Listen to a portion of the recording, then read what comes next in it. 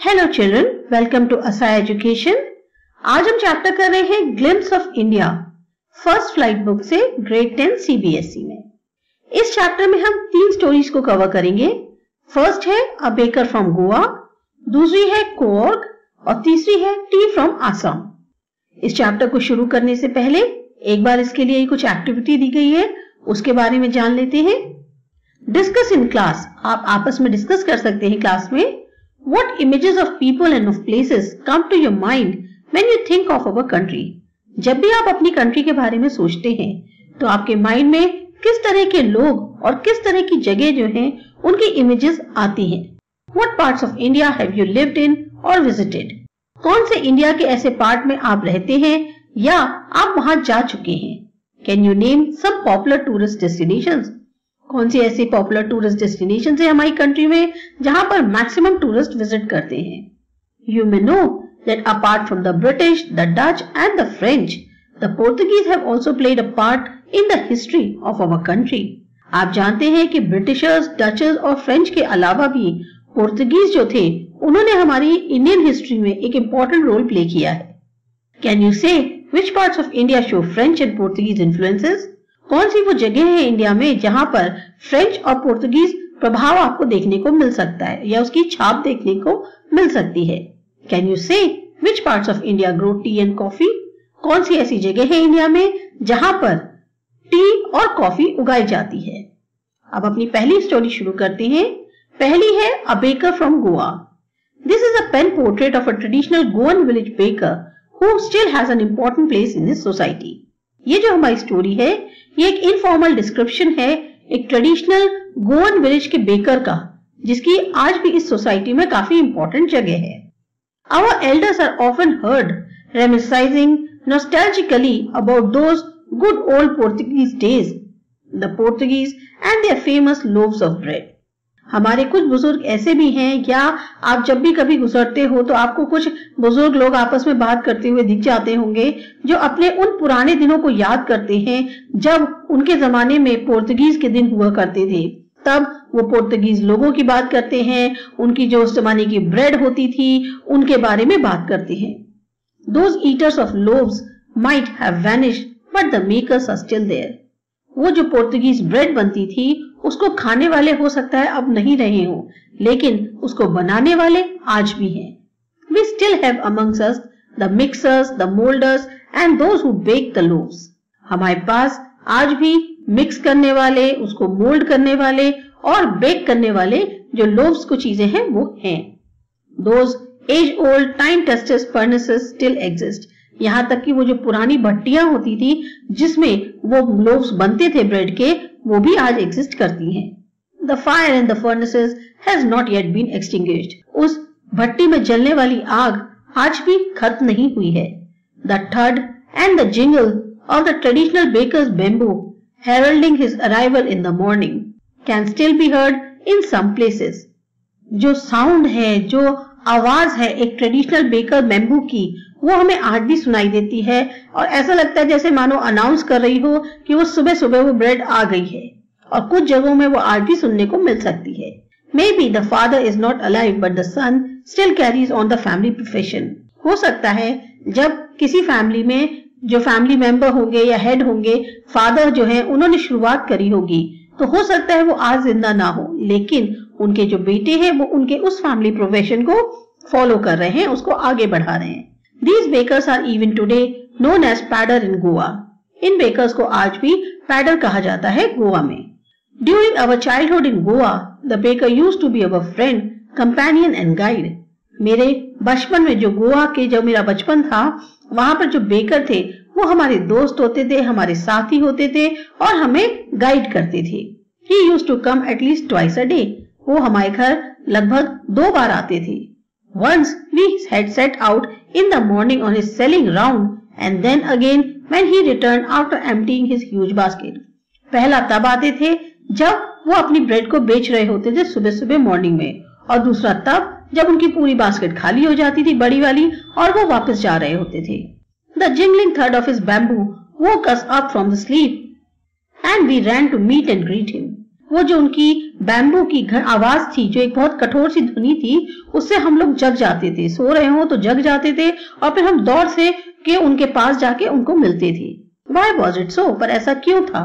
Was it for the love of the loaf क्या वो bread के लिए जो लोफ था ब्रेड का, उसके लिए हमारा प्यार था? नॉट एट ऑल बिल्कुल नहीं, ऐसा नहीं है। The loaves were brought by some Paskine और Bastin the maid servant of the house वो जो लोव्स थे, वो तो कोई पैस्किन या बैस्टिन जो भी मेड सर्वेंट होगा उस जमाने का, घर में वो लाता था। What we long for those bread bangles which we chose carefully हमारे लिए तो मेन वो जो ब्रेड की फॉर्म में, जो बैंगल्स की फॉर्म में ब्रेड बनाई जाती थी, हम उसके लिए जाते थे और उसको हम बड़े ध्यान से चुनते थे। Sometimes it was sweet bread of special make कई बार वो खास तौर से एक मीठी ब्रेड बनाई जाती थी। The baker made his musical entry on the scene with the jhang jhang sound of his special made bamboo staff ये जो बेकर हैं, ये जब भी आते थे, हमेशा उनकी, जो जब भी आते थे तो एक म्यूज़िक बजता था। जंग जंग करके जो है, उनका जो बैम्बू स्टाफ था, उससे जो है आवाज़ होती थी। One hand supported the basket on his head and the other banged the bamboo on the ground कैसे आते थे? सिर पर टोकरी उठाए रहते थे। तो एक हाथ से तो वो टोकरी पड़ते रहते पकड़े रहते थे और एक हाथ से जो बैम्बू था, उसको जो है ग्राउंड पे हिट करते रहते थे। He would greet the lady of the house with good morning and then place his basket on the vertical bamboo. वो क्या करते थे? जो भी घर की लेडी निकलती थी ब्रेड लेने के लिए, उसको वो गुड मॉर्निंग करके विश करते थे और फिर अपनी जो बास्केट थी, उसको वो जो सीधा खड़ा हुआ बैम्बू था, उसके ऊपर रख देते थे। We kids would be pushed aside with a mild rebuke and the loaves would be delivered to the servant. हमको जो है हल्का सा, जैसे कह जी ना कि डांट के किनारे कर दिया जाता था और फिर वो जो लोव्स थे, वो सर्वेंट को दे दिए जाते थे। But we would not give up पर हम कहा मानने वाले थे? We would climb a bench और the parapet and peep into the basket somehow हम किसी तरह से कोशिश करते थे बेंच पे चढ़ जाएँ या दीवार की जो पैरापेट होती है, उस पर चढ़ जाएँ और किसी तरह से उसकी बास्केट में झाँक लें। I can still recall the typical fragrance of those loaves मेरे को आज भी वो जो एक खास तौर से स्मेल आती थी, उन लोव्स में से वो याद है। Loaves for the elders and the bangles for the children loaves किसके लिए आते थे? बड़े लोगों के लिए। और जो बैंगल्स आती थी, वो बच्चों के लिए थी। Then we did not even care to brush our teeth और वॉश अवर माउथ प्रॉपरली उसके एक बार आ जाने के बाद हम इस बार को भी नहीं सोचते थे कि हमें अपने टूथब्रश करने हैं, नहीं करने हैं, हमने दांत साफ़ किए हैं, मुँह धोया है या नहीं धोया? एंड बाई शुड बी क्यों हम चिंता करें? Who would take the trouble of plucking the mango leaf for the toothbrush अब कौन वहाँ से आम की पत्ती को तोड़ के लाए और फिर क्या कहते हैं टूथब्रश करे? And why was it necessary at all उसकी भी ज़रूरत भी क्या थी? The tiger never brush teeth कभी आज तक शेरों ने मुँह धोए हैं? Hot tea could wash and clean up everything so nicely after all अगर हम गरम गरम चाय पी लें तो एक तरह से हमारा मुँह जो है, वो सारा का सारा बिल्कुल क्लीन हो जाता है और साफ़ हो जाता है। Marriage gift are meaningless without the sweet bread known as the bol just as the party और फ़ीस चार्म विदाउट ब्रेड जो मैरिज गिफ्ट थी वो बिल्कुल मीनिंगलेस थी मतलब उनका कोई मतलब नहीं था अगर मैरिज गिफ्ट का। अगर उसमें जो है मीठी ब्रेड जिसको हम बोल बोलते हैं, वो ना हो। जैसे कि कोई भी पार्टी या फ़ीस जो है, अगर उसमें ब्रेड नहीं हो तो उसका चार्म खत्म हो जाता है। Not enough can be said to show how important a baker can be for a village इसमें हम बहुत ज़्यादा ना बोल पाए तो भी ये पता चलता है कि एक बेकर जो है किसी गाँव के लिए कितना ज़रूरी होता है। The lady of the house must prepare sandwiches on the occasion of her daughter's engagement जो घर की लेडी होती हैं, वो सैंडविचेस प्रिपेयर करती थी जब भी उनके डॉटर की एंगेजमेंट होती है। Cakes and bol in house are a must for Christmas as well as other festivals cakes हो या बोल इन हाउस हो, ये जो है बहुत ज़रूरी होती थी क्रिसमस के लिए या फिर किसी और फेस्टिवल के लिए। Thus the presence of the bakers furnace in the village is absolutely essential इसीलिए जो बेकर की प्रेजेंस थी फर्नेस की, जो उसकी भट्टी थी, वो बहुत ज़रूरी होती थी विलेज में ताकि जो भी फेस्टिवल्स हो उसमें, क्योंकि हमारी जो ब्रेड है, वो सबसे इंपॉर्टेंट रोल प्ले करती थी।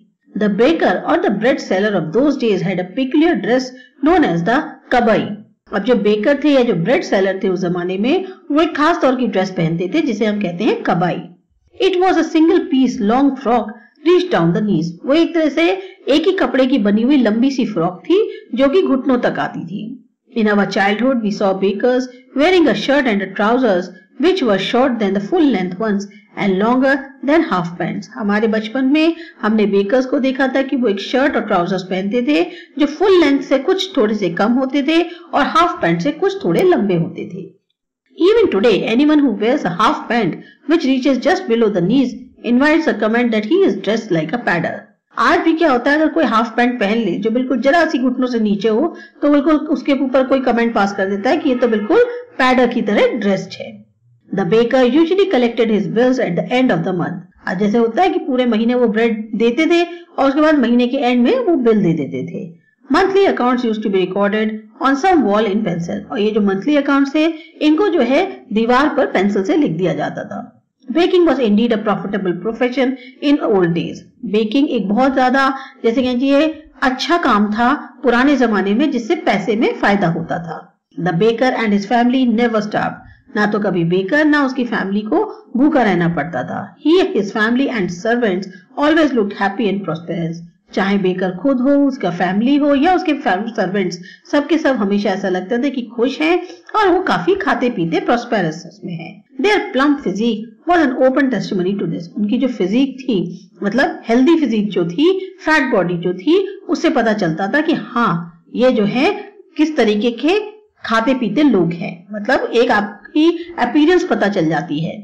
Even today, any person with a jackfruit-like physical appearance is easily compared to a baker. आज भी क्या होता है अगर कोई इंसान आपको ऐसा दिख जाए जो थोड़ा सा हेल्दी हो खूब अच्छा फ़िज़िकल उसमें हो जैक फ्रूट लाइक जैसे कटहल जैसी उसकी शेप हो तो हम उसको कहते हैं कि अरे ये तो बिल्कुल बेकर जैसा है। तो ये थी हमारी पहली स्टोरी